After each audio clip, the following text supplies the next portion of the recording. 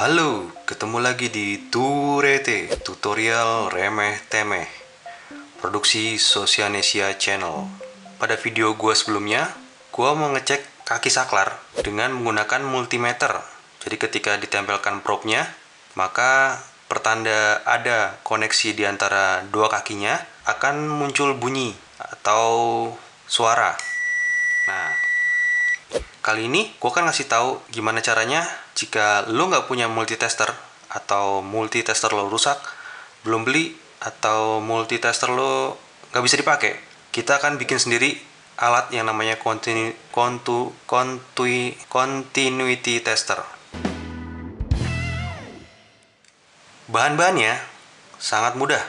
Yang pertama adalah dua buah baterai A2 dihubungkan secara seri menjadi 3 volt. Kemudian beserta tempat baterainya, ini bisa lo ambil dari mainan anak-anak, tempat baterainya bisa lo ambil. Kemudian lampu LED. LED 5 mili, warnanya merah. Bahan yang selanjutnya kabel. Kabel cukupnya. Lo bisa tambahkan seperti ini pin header atau jarum atau peniti di bagian ujungnya jadi disolder ke kabelnya atau tidak perlu pakai ini juga bisa. Ini hanya untuk biar kelihatan menarik aja dan lebih mudah ketika mencolok-colok bagian-bagian yang mau gue ukur. Kita butuh dua buah. Mau sepanjang apa bebas. Ini karena stage-nya kecil jadi gue pakai yang ukuran uh, secukupnya dan seala kadarnya aja. Kemudian gimana caranya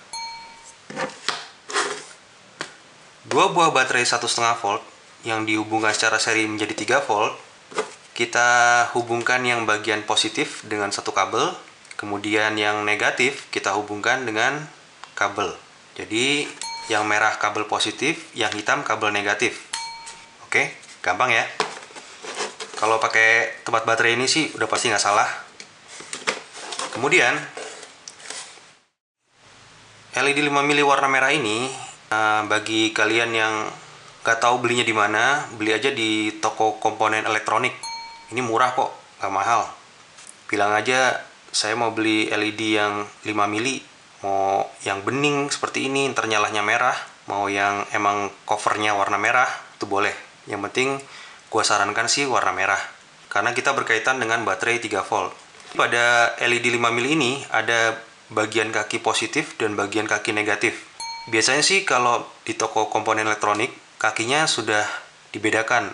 Salah satu kakinya lebih panjang. Jadi untuk menentukan positif dan negatif. Kalau nggak ngerti, tanya aja sama tokonya mana yang positif dan mana yang negatif. Tapi kalau seandainya yang lo dapat kakinya sama panjang begini, motongnya, kita lihat di bagian dalamnya. Di bagian dalam, LED ini tuh ada benderanya. Lo lihat bendera yang paling lebar atau paling panjang benderanya kaki yang terhubung dengan bendera itu adalah bagian negatif. Yang benderanya lebih kecil atau lebih pendek itu bagian positif. Untuk mengeceknya, apakah LED ini menyala atau enggak, kita tempelkan aja yang bagian positif dari baterai 3 volt ke kaki positif, kemudian yang bagian negatif ke kaki negatif. Nah, nyala ya. LED nggak masalah kalau terbalik, terbalik dia nggak nyala, tapi nggak rusak. LED ini akan rusak jika kita kasih tegangan jauh di atas tegangannya dia. Nah, kemudian kita lilitkan bagian yang negatif ke kaki negatif dari baterai ini. Kemudian yang bagian positifnya kita hubungkan dengan dua kabel tadi.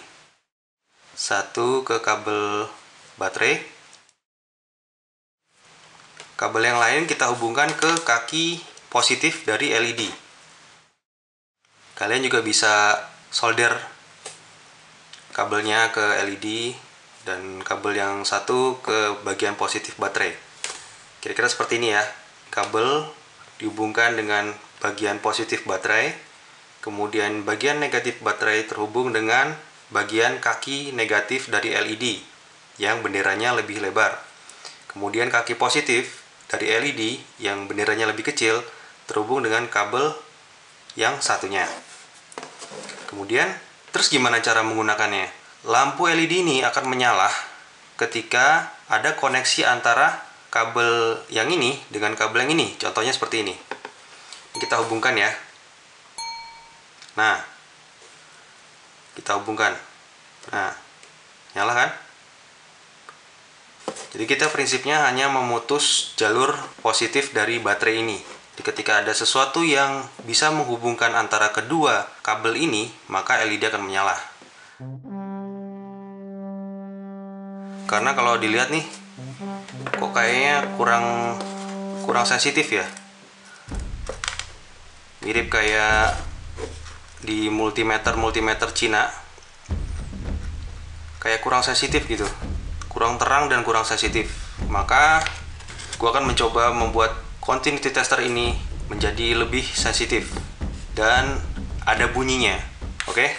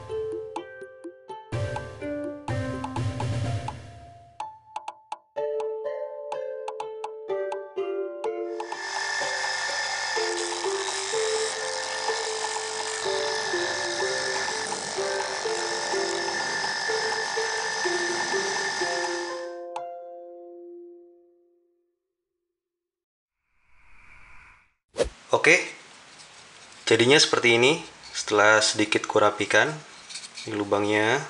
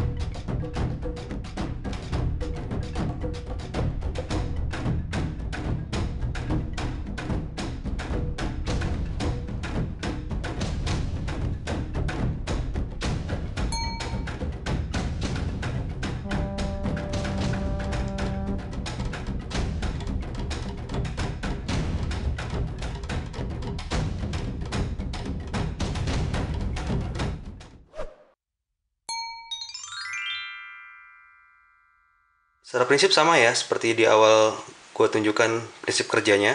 Tapi ini hanya gue upgrade supaya lebih sensitif. Kemudian ini kita tempatkan di casingnya. Terus kemudian lubang yang pertama. Kemudian kita masukkan juga kabel yang lain. Kita masukkan juga ke bagian lubang satunya. Kemudian boardnya pokoknya secara prinsip beginilah. Kemudian kita pasang baterainya. Baterai yang tadi.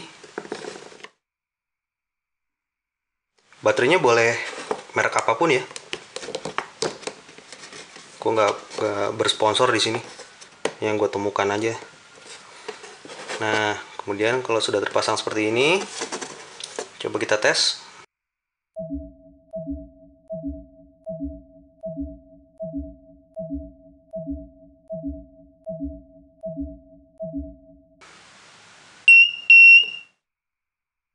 tes kita hubungkan.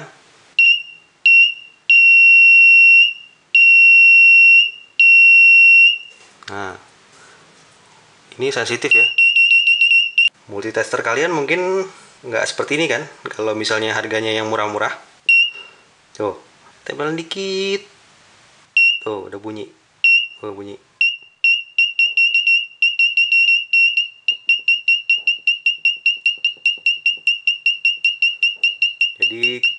nggak perlu lagi membeli multimeter yang mahal.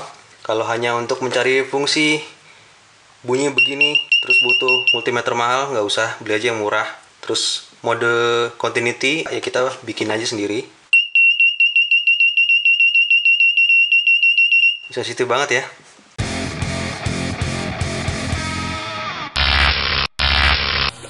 Oke, kali ini kita akan coba bandingkan continuity tester buatan sendiri dengan continuity tester yang ada pada multimeter atau ini reach meter. Agar sebanding, dua-duanya menggunakan baterai 3 volt, 1,5 kali 2 yang di seri. Ini juga sama, menggunakan baterai 3 volt agar perbandingannya menjadi apple to apple. Kita akan mencoba seberapa jauh continuity tester ini memiliki sensitivitas dengan cara mengukur resistor yang sudah gue siapkan di sini dari resistor 10 ohm, 100 ohm, 150 ohm, 1000 ohm atau 1 k ohm, 10.000 ohm atau 10 kilo ohm atau 10 k. Oke, kita siapkan multimeter atau ini reach meter namanya. Kita siapkan pada mode continuity tester.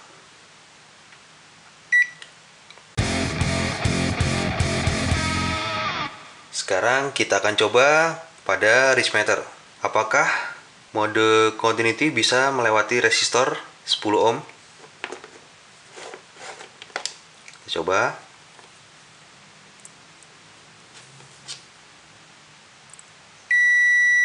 Bisa.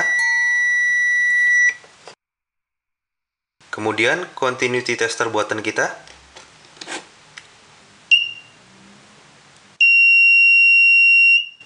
Oke, bisa juga. Kemudian kita beralih ke resistor yang 100 ohm.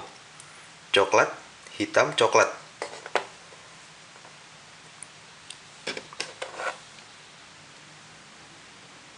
Oke. Muncul bacaan tapi tidak terdengar bunyi.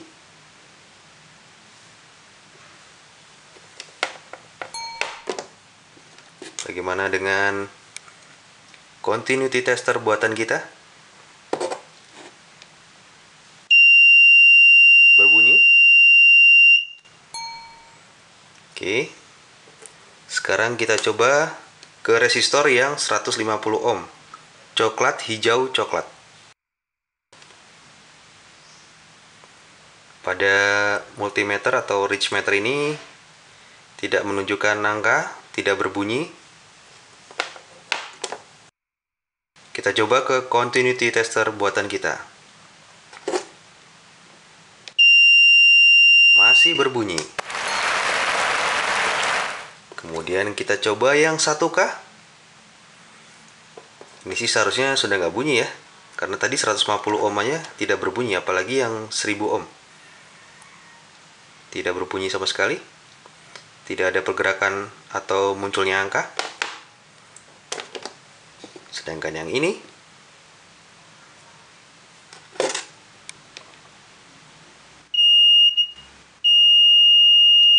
lampu tidak menyala tapi bunyi masih terdengar.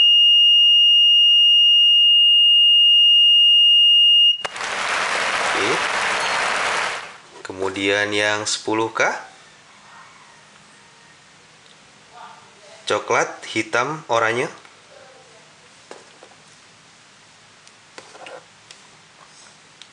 sudah pasti tidak berbunyi dan tidak menunjukkan angka.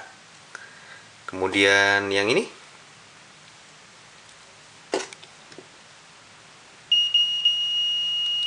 masih ada bunyinya ya, walaupun kecil.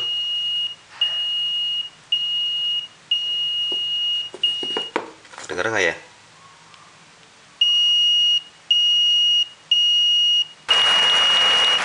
Oke, maka dengan begini kita masih bisa menggunakan alat buatan kita ini untuk mengukur komponen-komponen yang hambatannya memiliki hingga 10K sedangkan meter atau multimeter ini ketika sudah mencapai kisaran 150 ohm mode continuity pada meter ini sudah tidak berfungsi.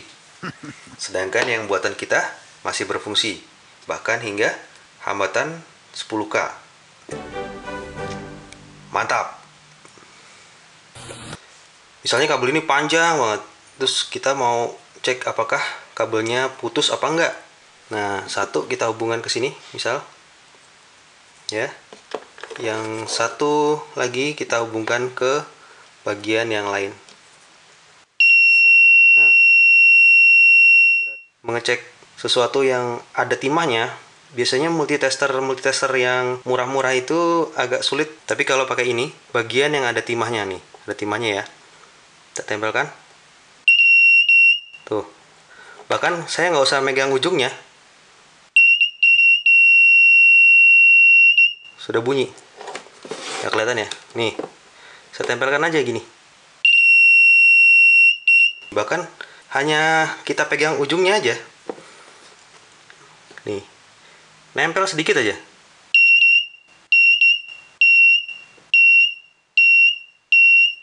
Bahkan kalau ujungnya kita seperti ini misalnya. Kita hanya pegang casingnya. Kita tempelkan. Sudah bunyi. Selain itu kita juga bisa untuk mengecek saklar. Mana kakinya yang sebagai pemutus arus misalnya ketika ini di kondisi off tempelkan tidak terhubung. Ketika kondisi on terhubung. Berarti dua kaki ini sebagai pemutus arus. Misal motor sinkronos ini ini dari pompa kompresor terbaca di sini ini dia bekerja di tegangan 220 volt jadi lilitannya lumayan banyak. Kita pengen tahu nih apakah lilitan di dalamnya masih terhubung atau enggak. Kita tempelkan pada kabel yang lain. Kedengeran ya? Kemudian kipas seperti ini. Ini kipas di power supply atau di PC berapa nih ya? 12 volt DC. Kita pengen tahu apakah masih bagus artinya tidak ada yang putus kita hubungkan saja yang bagian yang hitam dengan yang merah apakah terhubung atau enggak? Nah berarti kondisinya lilitan di dalamnya masih terhubung masih bagus. Kita juga bisa mengecek apakah kabel data atau kabel charger sekaligus kabel data yang sudah diselotip-selotip begini bahkan ininya sudah lepas penutup jack USB nya kabelnya sudah kelihatan Apakah masih terhubung atau masih berfungsi? Kita bisa cek dengan alat kita ini. Kita hubungkan ke bagian USB-nya. Di sini ada 4 pin. Kemudian kita cek yang di bagian micro USB-nya. Masih berfungsi.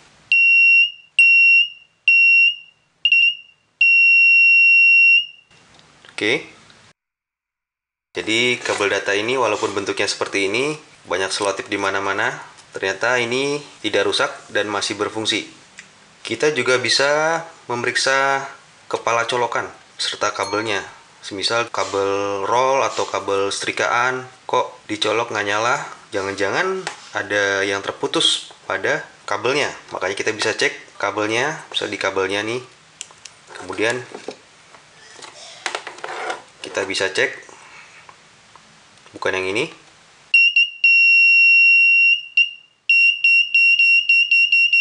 Berarti yang ini. Kemudian kalau kita pindahkan kita hubungkan pada bagian yang ini. Bukan. Berarti kabelnya keduanya masih bagus. Karena bila ada kabel putus atau mungkin kabel patah di dalam, maka ketika dilakukan tes seperti itu, tidak akan ada bunyi atau nyala lampu di alat ini. Fungsinya banyak kan? Nah, alat ini bisa digunakan ketika kalian mengecek eh, apakah ada kabel putus atau ada koneksi di motor kalian, di mobil kalian, sepeda listrik, motor listrik,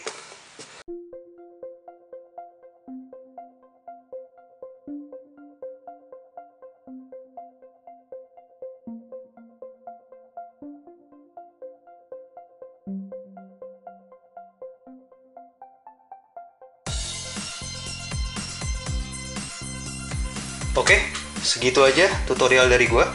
Semoga bermanfaat. See you.